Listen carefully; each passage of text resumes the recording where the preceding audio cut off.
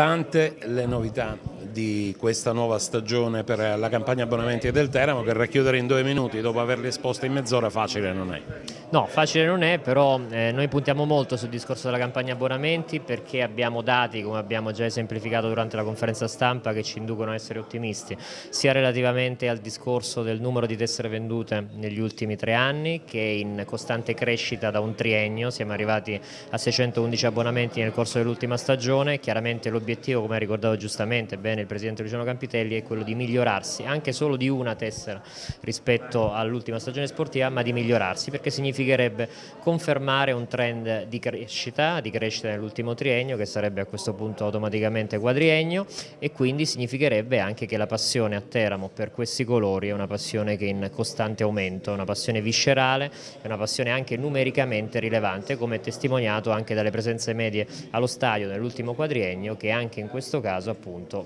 mostra segnali molto confortanti ed è sicuramente molto positivo apprendere il fatto che l'ufficio marketing, che poi è una componente importante di qualunque società, non solo calcistica,